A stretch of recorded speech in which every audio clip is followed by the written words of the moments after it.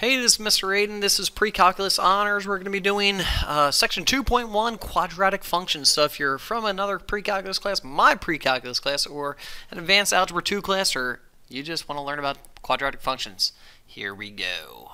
Um, we know that there's a bunch of different kinds of functions from this point in our math. We know we have things like the constant function, which is just f of x equals some constant a. So if we have a y equals 2, here's what our graph, what it looks like. It's just, it's always going to be, the y values will always be 2 for every single value of x. And then we have a linear function, which is, of course, the, our y equals mx plus b, or f of x, our function is equal to mx plus b. This is a graph of y equals 2x minus 2. You can see the y-intercept of negative 2, the slope of positive 2. But we're going to be studying quadratic functions, which is in the form of f of x equals ax squared plus bx plus c. a, b, and c are all uh, constant functions, obviously a cannot be 0 because then it would be a linear function, and this gives us what's called a parabola. So we have some parent functions here uh, of our quadratic function. You can see the green function here is our y equals x squared. It's a positive value, so it's a positive parabola. It will always be in the um, concave up, per se and we are y equals x squared. When we have y equals negative x squared, you can see it's the reflection of that upon the x-axis. And so the negative x squared will be a concave down function. And so if you just have a negative in front, you can see the difference there. We also have, you can see, I, have put up two general functions of quadratic functions. The first one is y equals x squared plus 3x plus 2. I hope you can see there are a couple different things that you can see. Since this is a positive function, it will be going concave up in a positive uh, concavity. You can see this 2 right here is when x is equal to 0, y is equal to 2. That gives us the y-intercept. And we also have what's called a vertex. Can you see the vertex here is at negative 1.5? We also have what's called an axis of symmetry at x is equal to negative 1.5. That's where we are symmetric under both sides. You can see this value here and this value here, this value here and this value here, they are all symmetric with one another. But you can see as our a value is less than 0 or a negative value, you can see we have a con concave down graph quadratic function, a parabola. We can see this negative 2 right here is our y-intercept, and we of course have a vertex and an axis of symmetry at x is equal to positive 1.5. Okay, and so we're going to be studying a little bit more of how we can represent these functions. You can see this is called the standard form of the quadratic equation. Okay, standard form meaning that we have this value a, this constant a, we have this constant h, and this constant k right here. And you can see hk is going to be our what we call our vertex, our vertex. Some people call this a vertex form um, this is going to help us out to find out our vertex. And so you can see in this function, y equals x minus 3 squared plus 4. Our h value, since there's a negative right here, our h value is equal to 3. Our k value is equal to 4, and you can see at 3, 4 is what's called our vertex. Okay, which means our axis of symmetry, our axis of symmetry is going to be at our x is equal to our h value. So you can see at x is equal to 3, that is our x is equal to 3. That's our axis of symmetry there, right there.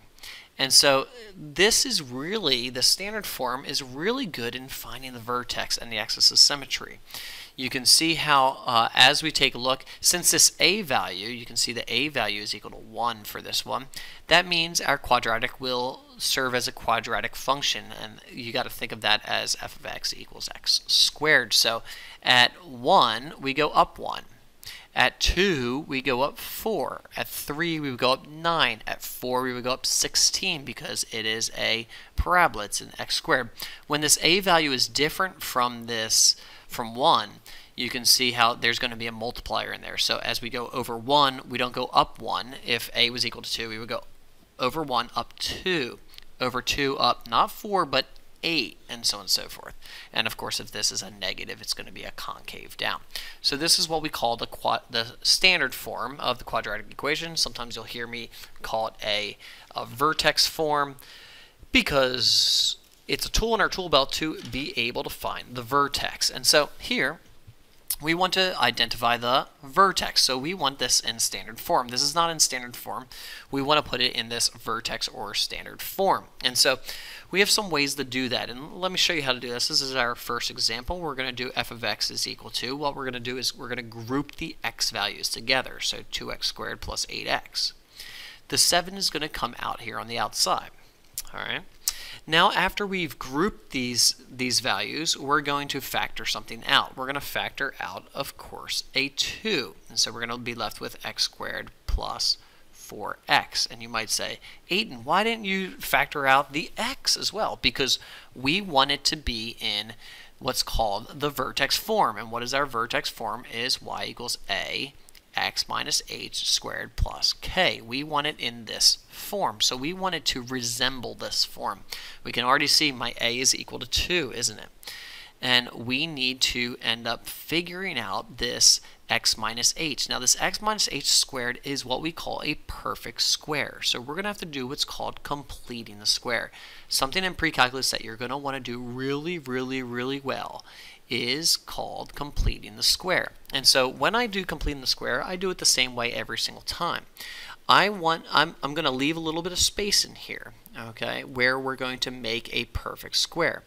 And so what I'm going to do is I'm going to make a beautiful perfect square. Now, what is the perfect square of x squared plus 4x would be x plus 2 squared. And so always take this value right here, this this whatever has the x value, and you're going to half that number. So that 4 will become a 2. Why? Because when you go to FOIL this, 2 times x plus 2 times x gives you 4x. Okay. Now, how do you know what number to put over here? Well, this number, remember the number on the end, is going to be this number squared. So 2 times 2, which is 4. Now, I'm going to add 4. Okay. When I add 4, it gives us this perfect square. It's called completing the square.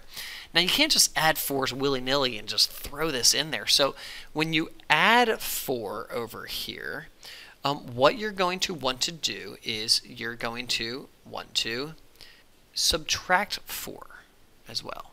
Subtract 4. Okay, so it's kind of like you're adding 4, but you're also subtracting 4 as well. And so that gives you the perfect square. Now, as you're adding 4, you're going to subtract 4 on this 7. But watch out, you're not just subtracting 4, you're subtracting 8. And the reason we're subtracting 8 is we factored out a 2. We factored out a 2. So really what we were doing is we're not only adding 8, but we're subtracting 8 as well. And so on the outside of this value, we have minus 1. And we are in our vertex form. 2 x plus 2 squared minus 1. So I know where my h is. My h is going to be equal to negative 2, because remember it's a negative h right there. And so negative 2. You can also think about what number is going to cancel this 2 out. So x plus 2, how do we make this equal to a 0? That x is going to be negative 2. This value over here, this negative 1, that's going to be our vertex. So we have negative 2, negative 1 is going to be our vertex. Now, um, you can plug in another value. You can plug in x is equal to 0. If you plug in x is equal to 0, you can figure out where the y-intercept is going to be. Or you can come over here and think about um, since a is equal to positive 2, it's going to be a concave up. And as we go over 2, we're going to go not up, uh, sorry, over 1, up 1. We're going to go over 1, up 2. Over 2, not up 1, 2, 3, 4, but over 2, up 8. Okay, and it's going to be symmetric on the other side. And so you can see our parabola is going to look something like that. So that is how we identify the vertex of a quadratic function by doing the um, completing the square. Completing the square something that you really want to be good at. So let's go to example number two. Example number two says we want to identify the x intercepts of a quadratic function. So let's go on and, and put this into our standard form. We have f of x equals a x minus h squared plus k, and so we're going to do a little bit of work at being able to uh, complete the square. So f of x equals, we're going to group our x's together, negative x squared plus 6x. We're going to put the negative 8 on the outside. Then we're going to factor out anything we can. We're going to factor out a negative 1 out of this. Okay, and so we're going to be left with x squared minus 6x. And we have minus 8 on the outside. So we know what our a is. We know it's going to be a concave down graph because the a is going to be equal to negative 1. So now we have to do what's called completing the square. So I try to do completing the square the exact same way every time. So this is another good example of completing the square. We're going to do f of x equals negative 1, okay? And what is going to be our beautiful square for this? Remember, we take this number right here and we divide it by 2, so it's going to be negative 3 squared, x minus 3 squared. And so what numbers do I need to add? Well, I'm going to take this number and double, uh, sorry, square him. Negative 3 times negative 3 is positive 9. So it's like I'm adding 9, which means I have to subtract 9. But remember, I factored out a negative 1. So it's I really subtracted 9, which means I need to add 9 to this side. Okay, And as I add 9 to that side, we're left with plus 1. Okay, and so here is in my intercept form, you can see my vertex is going to be at 3, 1. Okay, so at positive 3, positive 1, that's going to be my vertex right there. Um, and you can see my A is equal to negative 1, which means I'm going to be over 1, down 1, over 1, down 1, over 2, down 4, 1, 2, 3, 4, over 2, down 4, 1, 2, 3, 4. Okay, and it's symmetric on both sides. I know what my axis of symmetry is. Can you see I found my x-intercepts? My x-intercepts were at uh, 2, 0 and also 4, 0. Okay, 2, 0 and 4, 0. Uh, you could have also, as we take taken a look at this, took a look at this, taken a look, I'm not an English teacher, sorry, um, is we could have factored this guy. f of x equals negative x squared minus 6x plus 8, and did try to factor this guy out. And so what are the factors of 8 are 4 times 2, we get negative 4, we get negative 2x and x, which means you can see how when x is equal to 4 and x is equal to 2, that's when the y value, the f of x, is the function is equal to 0, which confirms exactly what I have right here. So you can see I showed you the uh, vertex form. I also showed you the factoring out as well. Let's go to one last example today. The last example is going to be example 3. And so example 3 is saying write the equation of the parabola in standard form. We got to remember what standard form is. What standard form is y equals a x minus h squared plus k, like that. So we know what my vertex is. So take a look. We have y equals a. I don't know what a is. My vertex is at positive 1, so x minus 1 squared my k is equal to 2, so plus 2. So I have almost my entire equation right away. I know my parabola has a vertex of 1, 2 right here. And I know it's going to go through the point 3, negative 6. So 3, negative 6 is down here somewhere. I know it's going to be like that, like that, concave down. So I know this A is going to be negative because if my vertex is up here and I have a point down here that I'm going through, then I know it's got to be going down. Now, how in the world do I find out what this A value is? Well, they gave me another point. And so I know my Y is negative 6 when the X is equal to 3. And so you can see 3 minus 1 is 2, 2 squared is 4. So 4 times A plus 2 equals negative 6. I'm going to subtract 2 from both sides. I get negative 8 equals 4A. I know my a is going to be equal to negative 2. And so there is my equation right there. I know my equation is f of x, or the function of x, is equal to negative 2 x minus 1 squared plus 2, which is exactly this graph right here.